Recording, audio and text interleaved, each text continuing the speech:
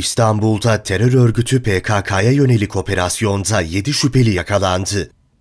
İstanbul Emniyet Müdürlüğü Terörle Mücadele Şube Müdürlüğü ekipleri, kentte terör örgütü PKK adına faaliyette bulundukları belirlenen şüphelilerin yakalanması için çalışma başlattı. Soruşturma kapsamında 8 ilçede 9 adrese eş zamanlı operasyon düzenleyen ekipler 7 şüpheliyi yakaladı. Adreslerde yapılan aramalarda çok sayıda örgütsel doküman ve dijital malzeme ele geçirildi.